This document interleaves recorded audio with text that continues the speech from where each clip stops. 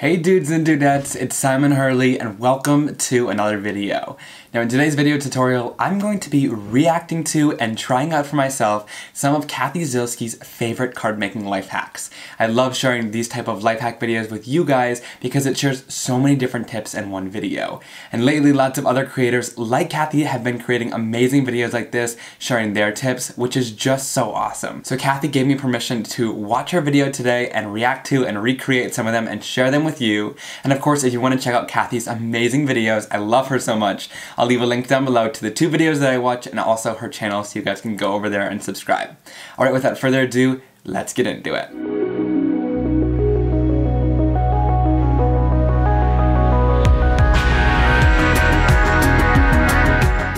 Alright, so I grabbed my computer out and let's get to watching and reacting to some of her tips. Hey everyone, Cathy Zielske here. Welcome back to my YouTube channel. Today I am sharing five tips and tricks for card makers. Tip number one is to use your Scor-Buddy to help you line things up. So this little tool is fantastic for adding score lines for our card bases, but you can also use it to adhere and line things up perfectly on those card bases. For example, you got a card panel. You press your base right into the corner of the Scor-Buddy, then you take your panel and repeat.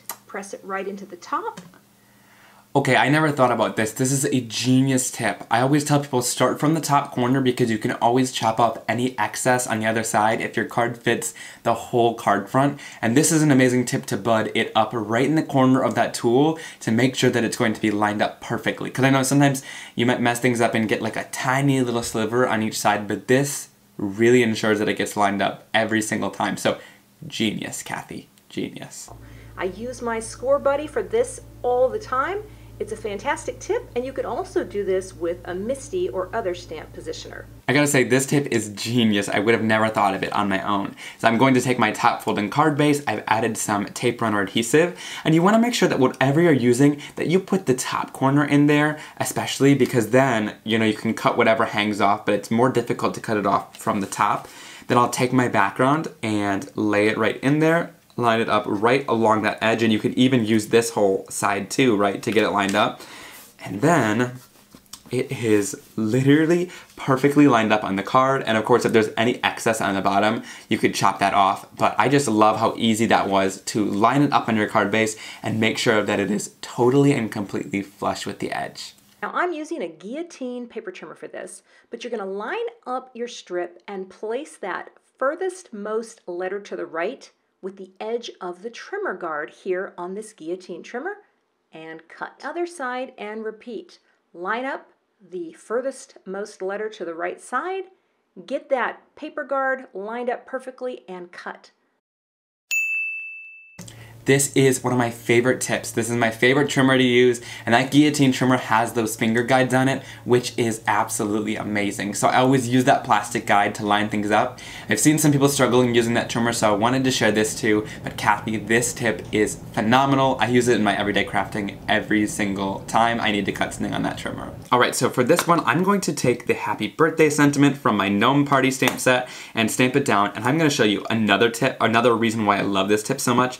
Stamp it on a total angle like this because Cathy's was a little bit straighter, but I'm gonna show you really how wonky you can get and how this trimmer totally fixes it. This is one of my favorite trimmers and I especially love it because of this. Someone the other day was struggling with lining things up and I told them just use that plastic guide. So if you go right along here and you line it up right with the edge of that guide so that every part of your sentiment touches that, that's how you know you're going to have a straight line. I'll do the same thing with the birthday part of the sentiment, but I wanna show you how to get like a little bit of a larger room, and that's to line it up on the inside of it like this. So instead of on the outside, look on the inside and line it up there. This is what Cathy did, and you get a little bit more room there.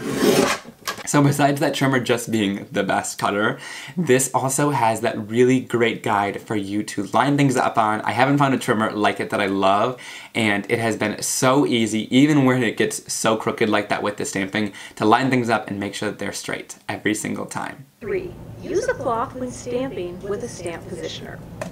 This tip is kind of controversial because I don't love doing this, but I haven't really tried it out.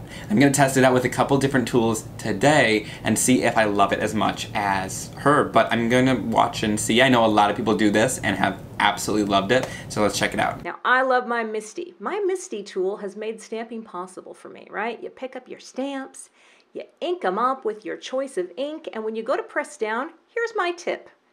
Use a soft cloth to apply pressure to transfer the image. I don't know about you, but I don't like my fingers sticking to the acrylic of the door. Mine stick so every I time I do it. the cloth that I use actually, it's a Swiffer cloth. So not only can I smoothly stamp, I can clean up with it as well. That's a win-win. That's an amazing tip too, to take those Swiffer cloths and clean it all up. I was gonna share that in today's video, but uh, those are all packed away. So I won't be able to have those, but I'm gonna test out a couple tools. This is one that my audience member made me. I know you could use dry erase board markers or just a simple cloth like she was talking about, and I'm gonna test this out to see if it's something that I like. I always never really wanted an extra tool on my desk to have to look for, but I honestly realized I use my cloth all the time for inking, so this is gonna be helpful to just kind of press around because my fingers definitely do get kind of stuck on this. Um, they're, they're pretty dry. And then let's go in with my archival ink and ink this up so we can stamp it down. My biggest worry was that I was never gonna be able to like give it even enough pressure, but let's go in and try this out and just give the rag the pressure and kind of swirl it around a little bit. I've gotta say, it definitely is easier to just give like a good pressure to everywhere and let's see if it stamped. Wow. Okay, it stamped really nicely. I feel like I actually did have a lot of control over how much pressure I put down there. Now I also wanted to share that people have been using dry erase board erasers and that seems to work really well since it has a soft surface. And one of my viewers, Trudy, actually made this just using some wood from the hardware store and then attaching a little piece of felt on the bottom so it's just like the same concept of a dry erase eraser. All right, so let's go in and ink this up again. And let's see if this gives me better control because you have something easier to grip onto. So maybe if you have wrist issues, this might be a good way for you to easily be able to press down, give it really good pressure. And I can definitely like apply a lot of pressure to that. And that gives you a nice smooth look too. So it's almost like, I've seen those people on Instagram that do like the paintings where they take that big thing and make sure that they've got a good stamped image of their paint. And that's kind of what this reminds me of. You definitely can get more pressure than I expected out of this. So I would actually say this tip is a win.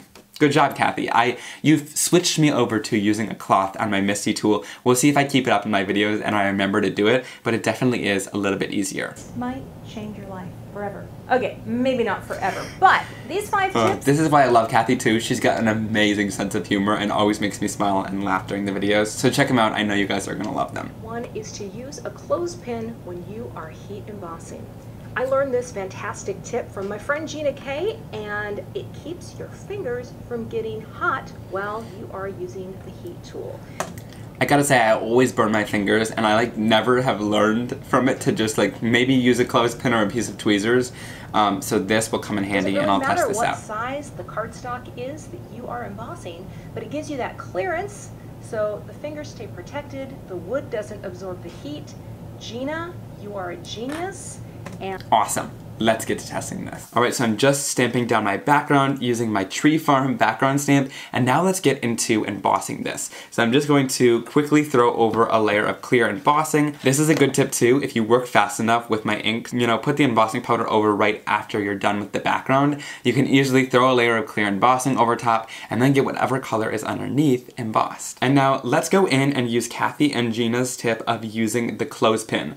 I cannot tell you how many times I've burnt my hand especially doing a whole background like this where you're trying to heat the edges and stuff like that, this comes into great handy. So I'm just going to heat this up. Okay, so I've gotta say, I heated like right up to the edge of this and I didn't get burned. I didn't even have to worry about it, which is amazing. And because it's wood, like Cathy says, it's not gonna conduct heat like a tweezers would. So if you use your metal tweezers, you're definitely gonna get a lot hotter and maybe even burn yourself. Whereas with this, I didn't even have to worry about going too close to it and it worked perfectly. Three, dehair your die cuts. Well, let me. This is a must because whenever I die cut, I always have those little tiny like hairs of, she'll explain it, but little, little hairs of paper, and this is super helpful. Explain this one. You know how you run your intricate die through the die cut machine. And if you take a close look at it, there are always these little paper, well, I call them hairs. I take purple tape, put it on my fingers, and just start rolling it over the die cut. I usually hold the die cut down, especially if it's a delicate die cut, because you don't want to bend it and get it all mucked up that way. But what will happen is you're going to see so much paper paper hairs, if you will, come off the die cut. So and that is such an awesome tip. I've done it before with like a lint roller and that's ripped my cardstock. So the tip of using purple tape or mint tape to pull up where it's meant to be less sticky is gonna get those off without ripping your cardstock in the process. So amazing tip, Cathy. This one's one of my favorites just because I, those things bug me so much, especially when you're layering um, like stacked sentiments and things like that and you wanna make sure they're super clean. Alright guys, this was so much fun to react to, recreate, and share my opinions on Cathy Zielske's favorite card making life hacks. If you guys enjoyed this and want to see more with other people, be sure to leave a comment down below who you want me to react to their videos next. And also be sure to show Cathy lots of love. She has an amazing YouTube channel and again I'll link it down below as well so you can check it out. So much personality, always makes me laugh and her designs are stunning. If you enjoyed this video, please give it a big thumbs up and be sure to subscribe down below to never miss another card making video like this one from me. And also I have a new phone number as well so if you text this you'll get sales, deals, and chat with me one-on-one -on -one if you have any questions. Alright guys, without further ado, I'll talk to you guys very, very soon in another card making video. Have a wonderful day. Bye!